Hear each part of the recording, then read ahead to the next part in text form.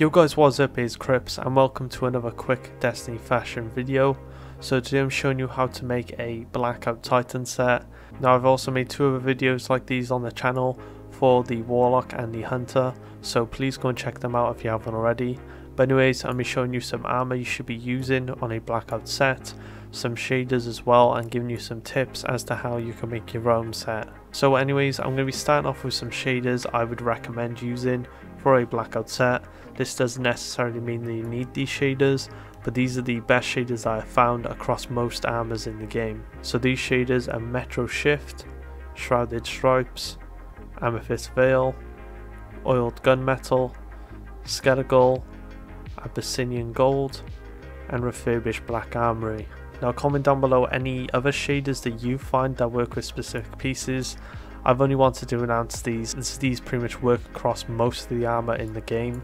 Now anyways, moving straight into my blackout set. So as for the armor, I'm using the Celestial Helm ornament. The chest and the mark use both the Luxe pieces from the Eververse archive.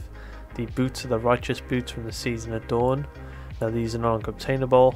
And as for the arms, I'm using the Synthoceps with the Siva ornament. Now the Siva ornament is currently dropping from Bright Engrams. Now as for shaders you want to use Amethyst Veil on the arms and the mark, Oiled Gunmetal on the helmet, Abyssinian Gold on the chest plate, and Metro Shift on the boots. Now I'm going to show you some main exotics that I use on the Titan which are also among the most popular and be showing you how to use them in a blackout set. So as you can see I'm using the Synthoceps here.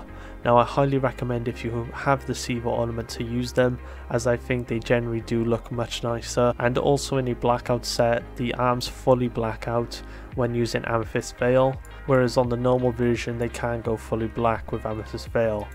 Now this isn't to say they can go fully black. As you can see with Skele-Ghaul it adds a bit of a blue glow uh, but there is a secondary colour here. And then as for refurbished this can also work although it still has that like sort of oiled gunmetal tint to it and it makes the glow white. Now while we're on the arms I'm going to go ahead and show you as well the Titan Ramparts as I know a lot of people like using these. So as you can see we have Amethyst Veil here. Now I would highly recommend this over like pretty much any other shader for these. Now something I will point out with Amethyst Veil and Metro Shift on Titan Armor is that it works quite different to other classes. So as you can see Metro Shift and Veil look extremely similar but the only difference is is that is actually a bit more like scuffed and worn down so if you actually want a cleaner look as you can see Another example of this would be on the Virtuous Arms from the Season of Dawn Pass. When I switch to Metro it goes a lot shinier and cleaner, then when I go to Amethyst it goes all scuffed. Now I'm just going to go ahead and show you all the exotics I want to show off. So I'm showing off the one eye mask now in a blackout set. Now I highly recommend if you're looking to purchase a set from the Eververse for like a blackout set to get the Luxe set. So I'll put on the boots as well. As you can see you can easily achieve a black set with the Luxe armor. But yeah, if you are using these Luxe pieces, I'd only recommend using Skele-Ghaul and Abyssinian Gold on certain pieces.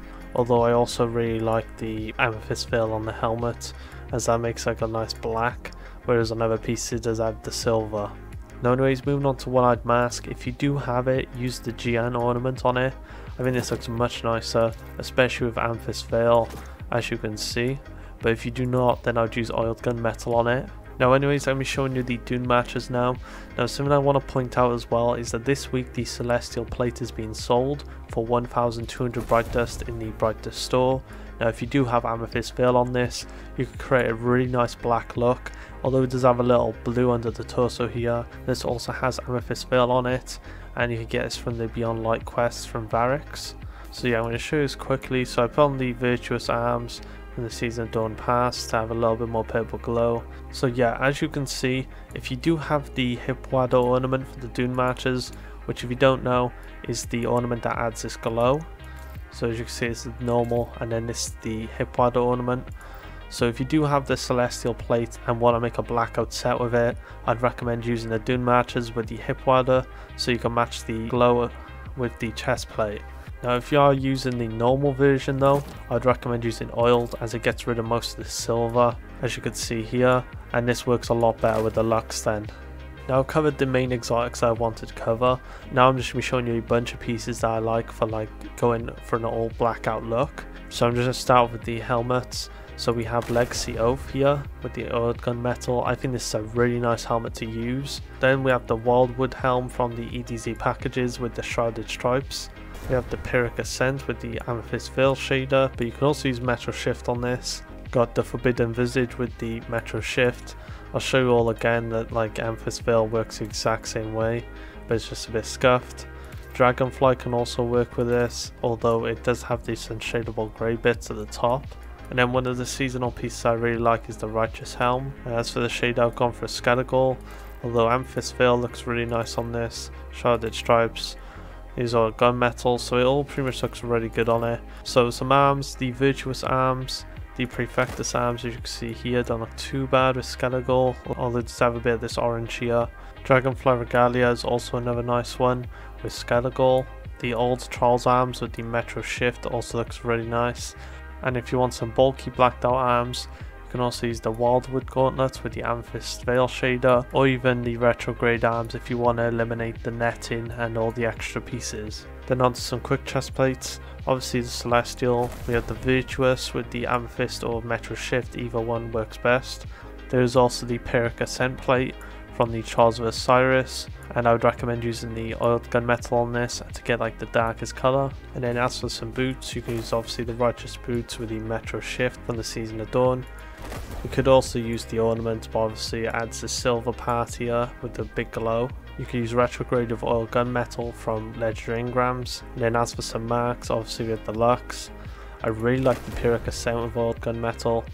I'll switch this though so you can see it better, as you can see. The Great Hunt with Amethyst Veil also looks nice. The Wildwood with Skele-Ghaul if you just want like a tone mark. And also the Praefectus one looks quite good as well if you want quite a wide mark.